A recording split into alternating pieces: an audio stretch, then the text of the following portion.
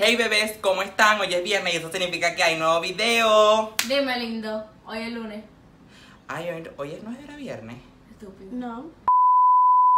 Los MTV Miau 2018. 19 no. Pero vamos a empezar con la Pink Carpet, porque ahora no es la Red Carpet, sino la Pink Carpet. Vamos a comenzar primero con Anita. O sea, el outfit de Anita estuvo bonito, pero es que a la quinceañera, marica, esa vaina parecía de, de vainas de esa de, de la hora loca, la que dan en las fiestas. Después, Callipoche. Bueno, Callipoche, el ángel y el demonio. O sea, eso no había mucho. Me encantó el outfit porque parece que lo hubiera copiado un unicornio. Recuerdo cómo que es el nombre de él, pero ay, no, el outfit de él, o sea, me mató horrible. Estuvo horroroso. ¿Cómo se le ocurrió ponerle una falda y para completar con esas medias? Marica, no estamos en Escocia. Después llegó, mi amor, la familia Red. La familia Roa. La vaina era Pink Carpe, no Red Carpe. Después llegó Sofía Reyes con su grupito, mi amor. J Balvin, o sea, yo no entendía el outfit de J Balvin, marica, con esos lentes de que te dan en el cine 3D. Esa vaina no cuadra. Jessie Joy, Jessie Joy siempre, ellos la han dado con su outfitcito simplecito, a mí me encanta. Juan Pazurita, Mario Ruiz Arrech. Sebastián Villalobos, siempre comiéndosela. Después, Lele Pom. Lele Pom, marica, parece una pillanta colorida. O sea, no me gustó mucho el vestido. O sea, esa marica tiene mucha plata para estar comprándose más vestido que esa vaina tan fea. Liam Payne, ajá, normalito. Tú sabes que esa gente ellos no se viste muy bien. Y bueno, ajá, ajá. Becky G, Nati Natacha. Arrechísimas las dos, mi amor. Ahí sí está. Ángel y el Diablo. Operada y no operada. Después llegó, mi amor. Yo voy a hablar de Pauti. A mí me gusta mucho Pauti. Yo adoro a Pautis.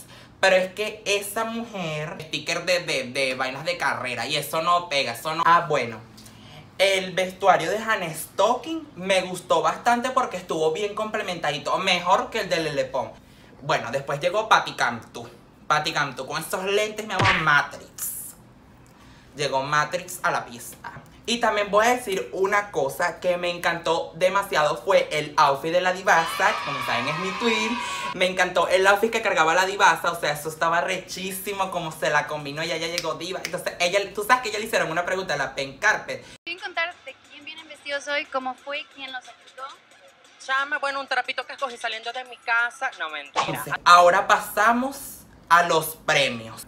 Bueno, en la primera categoría, eh, los primeros presentadores de la primera categoría fueron Carol G y otro señor ahí. Bueno, y yo les tengo algo que enseñar de Carol G, marica. Eso fue la periódico, eso fue la revista, el poco de revista pegada aquí.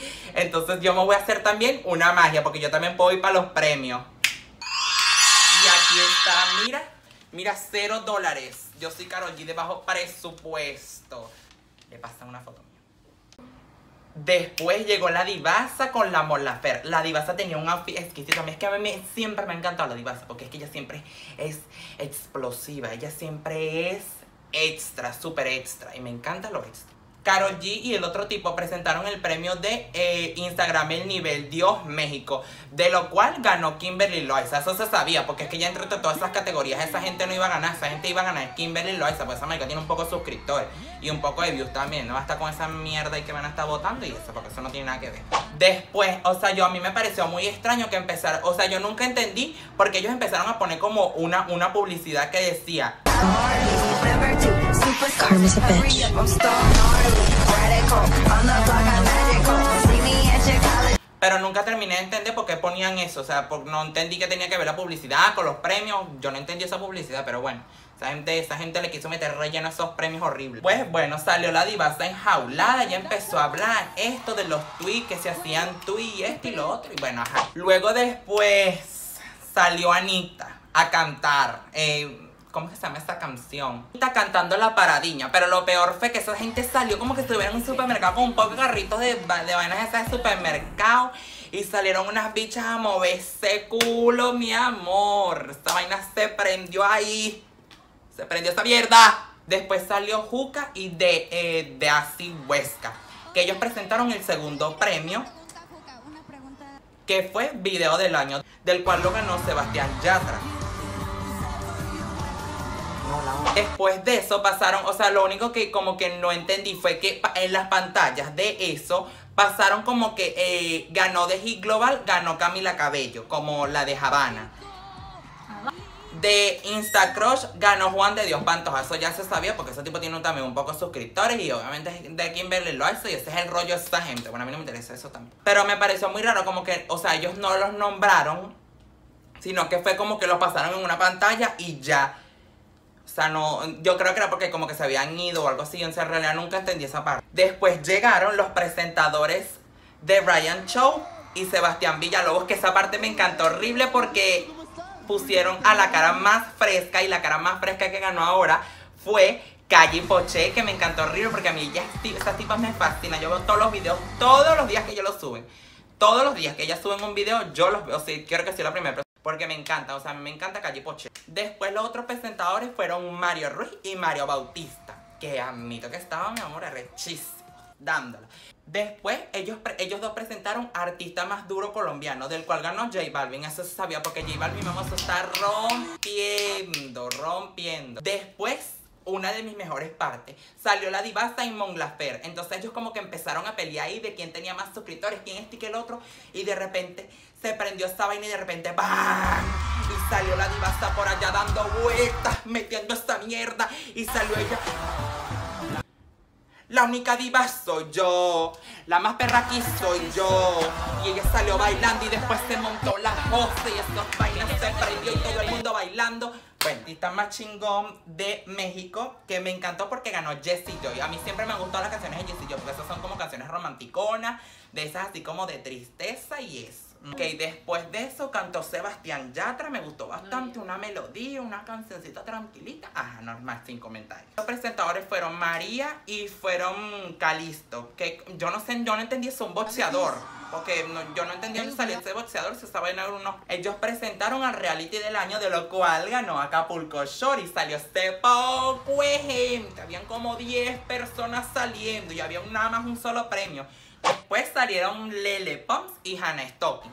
Pero ellas, antes de presentar el ganador del premio, ellas presentaron a su amiga Montana Montana algo, no me acuerdo ella, y ella, ella como que lo hizo bien, pues o sea, no me gustó, porque tú sabes que esa gente no habla español y pues se le complica. Y pues ella lo que hizo fue como un show de baile. Ustedes saben que ella siempre sale en los videos de Lepon bailando y así bonito. Y ahí nombraron al hit del año, de lo cual ganó Anita J Balvin en la canción de Downtown.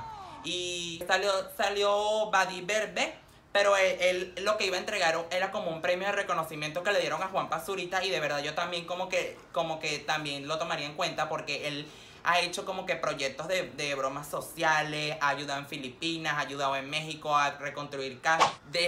Después llegó Liam Payne cantando Strip Down. Llegó, ya casi llegando al final, llegó Miurka, que le dicen la, la drama del melodrama, pero yo no entendí ese, ese melodrama. Y la tipa empezó con una gritadera y yo, ¡ay! ¿Para qué esta tipa está gritando? Entonces ella cuando leyó la carta, ella empezó como que, oh my god, oh my god. Entonces ella como que caminó un poquito más para acá y de repente gritó, la ganadora es la divasa, entonces como nada, o sea, como que nadie se la podía creer porque en realidad la divasa un año antes había estado y había perdido un premio de la cara más fresca, que era un premio en realidad normal. Epa, y hablando de eso, la divasa también ganó al mejor Roaster Challenge, que también me encantó porque a mí me encanta ese Roaster Challenge, creo que es el mejor que he escuchado en toda mi vida. Desde que empezaron a sacar los Rough Jersey Challenge. Y bueno, bebés, eso fue todo. Espero que les haya gustado el video. Espero que le den manitos arriba, se suscriban y comenten.